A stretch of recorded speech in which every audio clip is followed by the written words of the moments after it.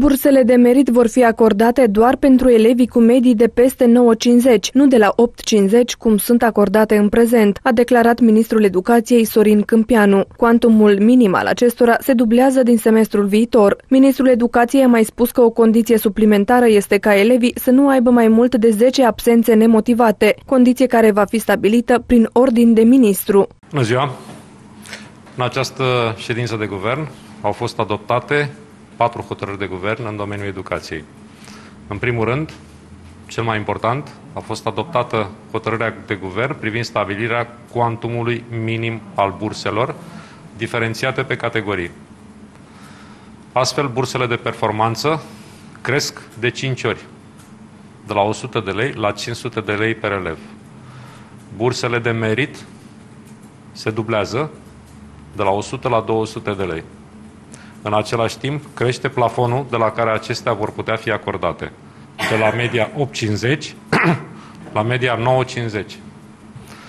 Aș vrea să vă reamintesc faptul că urmare a predării online, urmare a renunțării la teze, rezultatele au fost foarte mult distorsionate, în așa fel încât 50% din elevii României s-ar fi încadrat la burse de merit, urmare a rezultatelor înregistrate la nivelul anului școlar 2020-2021.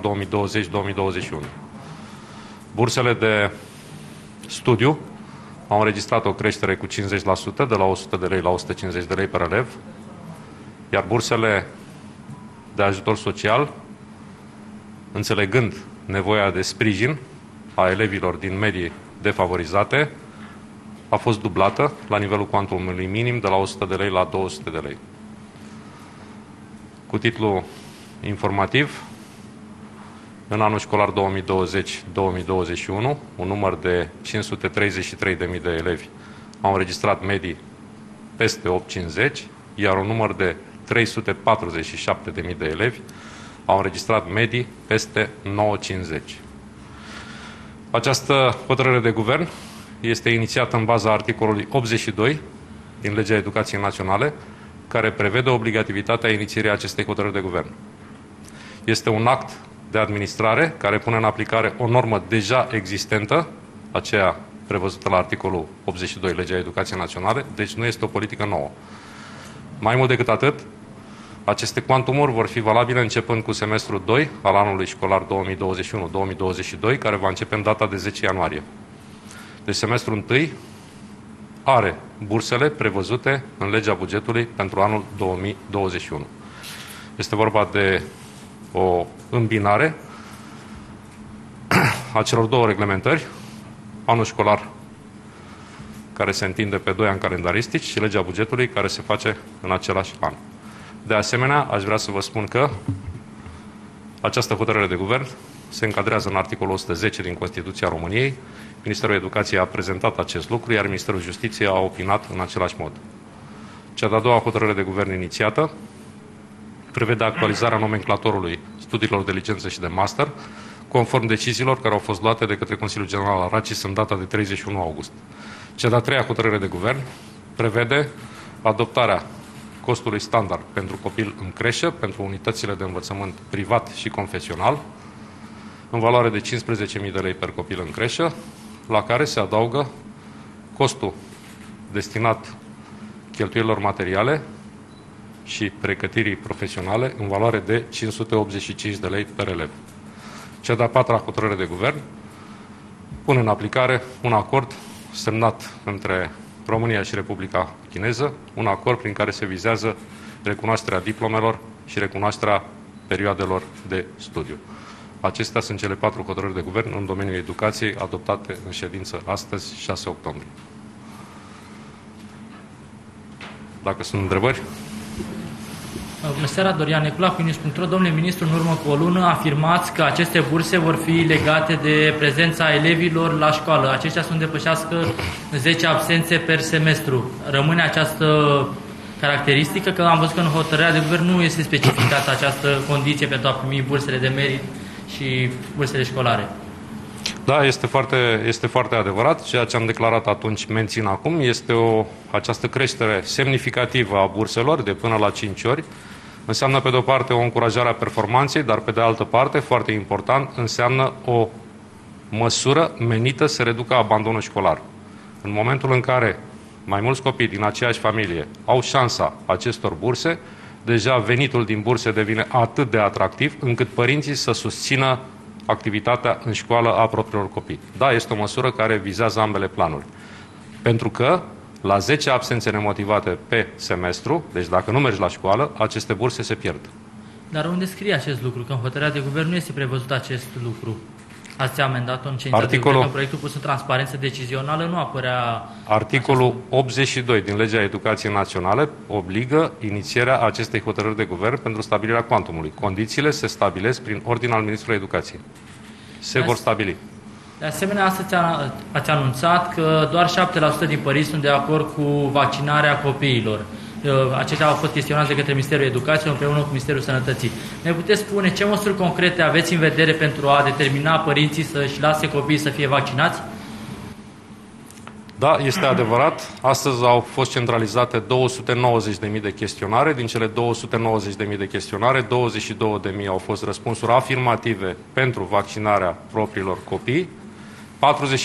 44.000 au fost răspunsuri indecise, iar 234.000 au fost uh, răspunsuri negative. Adică 7,5% au fost cu da, 15% au fost cu nu și 77,5%, uh, iertați-mă, 15% au fost indeciși și 77,5% din păcate au răspuns cu nu. Pe de altă parte, tot astăzi am făcut uh, publice rezultatele vaccinării elevilor în ultima săptămână. Dacă în prima săptămână de școală am avut o medie de 1000 de elevi vaccinați pe zi, în cea de-a doua săptămână această medie a crescut la 1700 de elevi vaccinați pe zi, iar în cea de-a treia săptămână am avut aproape 2500 de elevi vaccinați pe zi. Asta arată că, în pofida acestor răspunsuri îngrijorătoare, completate de către părinți în aceste chestionare, totuși, în rândul elevilor, există o dorință de vaccinare. Întrebarea a fost ce măsuri concrete aveți în vedere pentru a face părinții să lase copiii să fie vaccinați, în cont că ați distribuit uh, peste, puțin peste 250.000 de formulare. 290.000 de formulare. Bine că sunt peste 3 milioane de elevi în România. Uh, când vor ajunge aceste formulare și către ceilalți părinți? Știm foarte bine că sunt 2.930.000 de preșcolari și elevi în România. Dintre elevii și preșcolarii din România, doar 1.230.000 au vârsta peste 12 ani, deci se pot vaccina. Dintr-un 1.230.000, într-adevăr, au răspuns doar 290.000 în structura de răspuns pe care v-am dat-o. Ministerul Educației împreună cu Ministerul Sănătății, împreună cu coordonatorul campaniei naționale de vaccinare, vor face în continuare eforturi pentru conștientizarea importanței și necesității vaccinării. Acest lucru îl susținem zi de zi în teritoriu, în fiecare școală. De asemenea, pentru a veni în sprijinul celor 22.000 de elevi care doresc să se vaccineze, am luat legătura chiar astăzi cu colonelul Valeriu Gheorghiță și are disponibilitate de a trimite echipe mobile de vaccinare în școlile în care învață acești 22.000 de elevi. De asemenea, fereastra de oportunitate va dura până la finalul lunii noiembrie. Nu va fi o oportunitate de vaccinarea propriu-zisă a copiilor? CNCAV răspunde împreună cu DSP de organizarea acestui lucru. Ministerul Educației are datoria să comunice CNCAV câți elevi doresc să se vaccineze în fiecare din școlile României. Lucru pe care îl face chiar astăzi. De asemenea, referitor la testarea elevilor, când vor ajunge testele pe bază de salivă în școli? Înțelegem că ați început procedura de licitație sau a fost autorizat aceste teste pe bază de salivă de către Agenția Națională a Medicamentului când uh, vom vedea testele în școli. Dați-mi voie să mă prezint încă o dată, sunt Ministrul Educației. Aici de față este și șeful Departamentului pentru Situații de Urgență. Ministrul Educației a comunicat la solicitarea Departamentului pentru Situații de Urgență numărul de beneficiari, precum și numărul de săptămâni de școală rămase din acest semestru, număr de 11, și rămase din acest an școlar, număr de 30.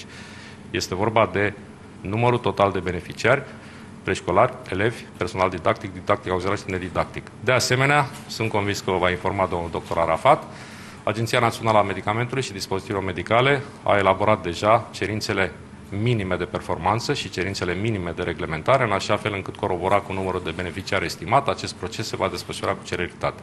Până atunci, în, teste exist, în școli există teste antigen rapide care pot și trebuie să fie folosite. Astăzi am avut o completare a Ordinului Comun de Ministru prin care am clarificat acele aspecte. Elevii care doresc să revină în ziua 8 de la apariția unui caz confirmat în clasă la școală vor putea fi testați fie în cabinetul medical școlar dacă există în acea școală, dacă nu a doua categorie vor fi testați pe banii DSP-urilor de către echipe mobile DSP și a treia categorie, cei care au făcut deja teste în alte părți vor fi luate în considerare pentru a putea reveni la școală începând cu ziua 8. Au fost uh, suplimentate, subliniez suplimentate cu 280.000 de teste, numărul de teste disponibile în școli este o suplimentare adăugată peste cele deja existente prin uh, grija Departamentului pentru Situații de Urgență. Mai sunt? Bună seara, Alex Blădescu, Antena 3. Mă uitam că tocmai s-a publicat în monitorul oficial, cred că ordinul privind obligativitatea mășii de protecție și voiam să vă întreb ce se întâmplă în cazul elevilor care fac ore de sport în aer liber, dacă sunt acceptați sau nu. Ordinul Comun de Ministru prevede în continuare uh, posibilitatea derulării orilor de educație fizică în spații interioare dacă rata de incidență în localitate este sub 2 la mie. Peste 2 la mie, uh, doar în spații exterioare, fără masca de protecție. Având în vedere și condițiile climatice, care sunt din ce în ce mai evidente, este clar că nu vor putea fi derulate orele de educație fizică în exterior din cauza condițiilor climatice nefavorabile. În acest sens, fiecare director de școală poate să suplinească aceste ore de educație fizică cu ore din disciplina educație pentru viață, spre exemplu. Da, și încă o precizare aș mai dori. Ce se întâmplă în cazul în care un cadru didactic care a intrat în contact cu mai mulți colegi sau cu elevi din mai multe clase e confirmat pozitiv? Intră toată școala în online pentru că până acum înțeleg că nu ne-ați specificat foarte clar ce se întâmplă. Sunt școli Eu unde... cred că regulile sunt foarte clare, pot să le reamintesc dacă doriți. La apariția unui caz confirmat, automat întreaga clasă trece în sistem online, deci încetează prezența fizică pentru 14 zile, fără a mai fi nevoie de hotărârea Comitetului Județean pentru Situații de Urgență la solicitarea Consiliului de Administrație al școlii cu avizul Inspectoratului Școlar. În situația în care apar mai mult de jumătate din clasele unei școli uh, în scenariu online, atunci Decizia se ia de către Comitetul Județean pentru Situații de Urgență de suspendare a activității în întreaga școală. Datele de astăzi ne arată că sunt 125 de școli din România cu activitatea complet suspendată în întreaga școală din cauza cazurilor de îmbolnăviri. De asemenea, sunt 11.090 de clase care au activitatea suspendată din această cauză. Dacă separat de aceste două reguli, care sunt cât se poate declare, ancheta epidemiologică reliefează, evidențiază și alte situații, DSP-ul ia decizia de rigoare în consecință. Ordinul Comun de Ministru prevede și această posibilitate.